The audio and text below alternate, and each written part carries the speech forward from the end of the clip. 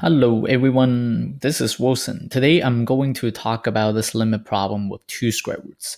Yes, two square roots in there. So there are two radicals that you need to worry about in this problem. So how do we deal with this kind of problem? Usually before we actually get started, we are going to just plug in the 5 into the x's and then try this direct substitution and see what happens, right? So let's don't worry about anything, right? We are just going to start by plugging in the number. Okay, so we are going to start with the square root and then I change the x, right, into a blank so that I can plug in the 5 in there. So I'm just going to write down the form for the function. And so now if we plug the 5 into the x's, and so I'm going to fill in both blanks with the number 5. Okay, so we directly substitute the 5 in there. And do you see what's going on here? If we do the calculation here, square root of 5 plus 4, so that's square root of 9, right? Minus 3 in the numerator. And then in the denominator, we are getting what? Square root of 4 minus 2. And so as you can see here, we are getting 3 minus 3 in the numerator and then 2 minus 2 in the denominator. So we are still getting 0 over 0 for this problem. Okay, so that's uh, an indeterminate form. So we cannot really draw any conclusion from this. And so now let's go back to the problem and think about how to do this problem. And so if you have seen my other videos, then you actually see that uh, whenever we encounter this kind of problems with a square root adding or subtracting another term because that's there are two terms right? So what we can do is to multiply by the conjugate of that expression. But now the problem is there are two of them so what do we do? And if there are two of them then we can still use the same idea right? What do we do? We just do it twice okay? So we use that same technique twice and see what's going on. So let's try that here so we are going to start the problem by multiplying the top and the bottom by the conjugate of um, either the top or the bottom. It's up to you. It doesn't matter which one that you do it first, right? So either way is going to be fine. So let's just try to multiply by the conjugate of the numerator first. And so we are having um, the square root of x plus 4 and then minus 3. And now what I'm going to do is to multiply that by the square root of x plus 4. Now, the conjugate is that for this expression is that we are changing the sign, right, from the minus to a plus. Okay, so we have that. And then you may say, what about the denominator? We'll just leave it for now so we'll just copy the denominator for now. So we have um, x minus 1 and then minus 2. And then just one thing that's really important, if you multiply something at the top other than 1, then you need to multiply by the same thing so that you're not changing the problem. So we need to make sure that we multiply that.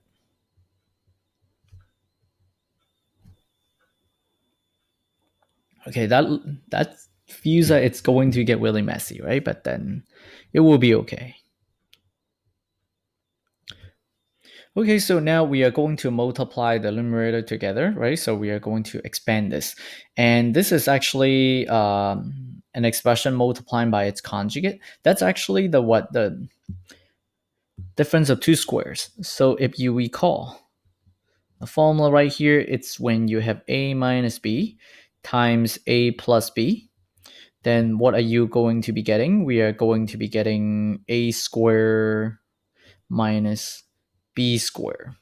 So it's basically the first term square minus the second term square. Now, if we look at this expression right here, if you square the first term, then we are going to be getting x plus 4, just x plus 4. And then now you got to square the second term. So if you square the second term right here, that's what? That's a 9, right? So you're going to get 9 right here. And then don't forget that you got to subtract them, right? Because that's called a difference, which means subtraction, difference of two squares. So we got to subtract them. So we put the minus sign right here. And then now denominator. For the denominator, we actually do not really need to multiply it out. So just leave it as it is. Okay, so we have the square root of x minus 1. then minus 2, so just copy.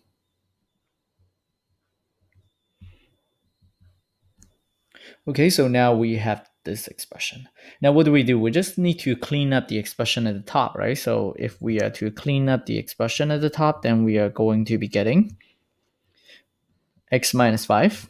Okay, as you can see here, that's 4 minus 9, right? So we get x minus 5. And then in the denominator, we are still getting the same stuff. So just copy it one more time.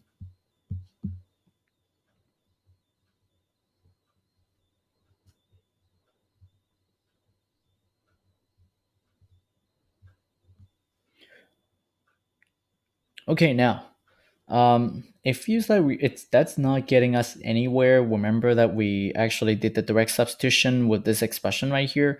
When we substituted the 5 for the denominator, it's approaching 0. And now, as you can see here, the numerator changed from the original expression to this x minus 5. But that's not really helping because x minus 5, as 5 approaches 5, it's still approaching zero. So we are still getting an indeterminate form of zeros over zero. We are not getting anywhere. So what can we do right now? And as I mentioned before, because there are two expressions involving the radical, we got to use this strategy twice. We got to use this technique twice to um, to clear the radicals. What that means is that we only did it for the numerator, but we haven't done this multiplying by the conjugate for the denominator. So we got to do it for the denominator right now. So in the next step, I'm going to multiply by the conjugate of this original denominator, this square root of x minus 1 and then minus 2. Okay, so let's do that. So if we are doing that here, then we are going to be multiplying. Okay, so let's look at the bottom right here. It's the denominator is the, the square root of x minus 1 and then minus 2, right? And we are going to multiply by its conjugate. So we have the square root of x minus 1 and then plus 2. And then you may say, what about this factor right here, this square root of x plus 4 plus 3? We didn't touch it, right? So we're just going to copy it right here. And so I just put it right after. Then you may say, why do I put that green expression right here? It's really because it makes it easy for us to multiply them, right? So that's why we are doing that. And now what about the numerator? And numerator it's still just the x minus 5 but then this time you actually need to do what? You actually need to multiply by this green expression so that you're not changing the problem right? So we have the x minus 5 don't forget to put parentheses even though that pair of parentheses are not originally there. And so we are going to multiply right by this green expression. So x minus 1 and then plus 2 Okay, yeah. So it looks like the problem is getting worse, but it, it's actually getting better. You will see why in the next step. So let's do the next step right here. For this next step right here, what happens is that we are going to use that same formula again. We're, we are going to be getting the square of the first term, square of the second term, and then we subtract them. Okay, so if we do that, then we are going to be getting square the first term, which is just x minus 1. Okay, just x minus 1. And then square the second term, that's uh, what? That's a 4.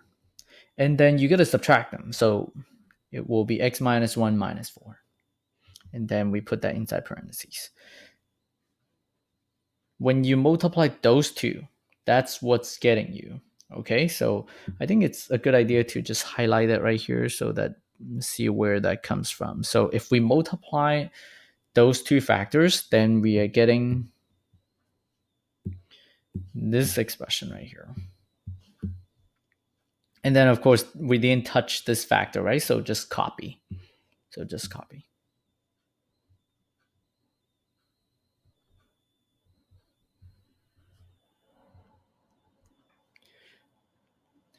Now me say, what about the uh?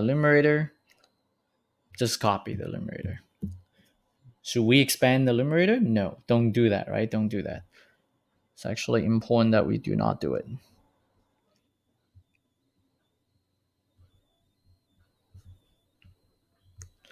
Okay, now good things had already happened. What is that? What is the good thing right here? Do you see that there is the x minus 1 minus 4, which is just x minus 5. Okay, so this is actually just x minus 5. And you can see that in the numerator, there is also a factor of x minus 5. And so what we can do right now is to just cancel the x minus 5 right? Because x is approaching 5 and x minus 5 is approaching 0. It's really those two factors that are causing the 0 over 0 form so that we cannot really determine the limit. But right now we can cancel them. So if we cancel them, then they're not there anymore, right? So we are going to just cross out this expression right here. Now we are left with a new expression with just those things, right? So I'm just going to write it down right now. So that's nice it's really because we do not have an indeterminate form anymore. You'll see by the time that you substitute the 5 in there, even though the problem is still involving two radicals in there. It feels like it's not getting us anywhere, but we can already find this limit without problem. Okay, so now what are we doing? We just substitute the 5 into the x and then we're finished with the problem. So let's do that. So we substitute, which is the square root of x minus 1, right? Change the x into a blank and then minus 2. And then in the denominator, we just copy that expression with the x changed into a blank also. So we have the square root of x plus 4 and then plus 3. Okay, so now what do we plug in there? We are going to plug in, we are going to be plugging in the 5 in there, right? So just plug in the 5. And so now doing the calculation, what are we getting here? Um, 5 minus 1 is square root of, well, 5 minus 1 is 4, so square root of 4, right? And then plus 2. Denominator. 5 plus 4 is square root of 9 here, right? 5 plus 4 is 9, so square root of 9 plus 3. So continuing with the calculation, we get 2 plus 2 over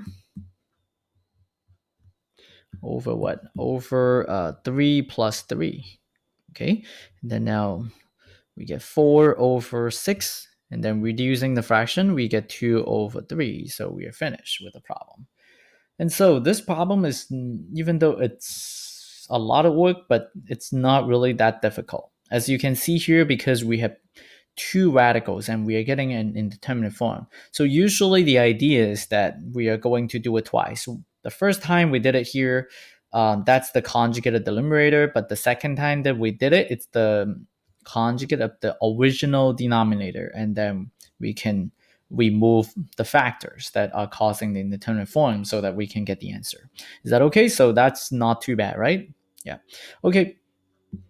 So if you like my video, please check out my other videos and also please subscribe my channel. Give me a like and then leave me some comments and also please tell me if you would like me to do an example on something, right? So tell me a topic in the comments. I will thank you for watching this video and see you next time.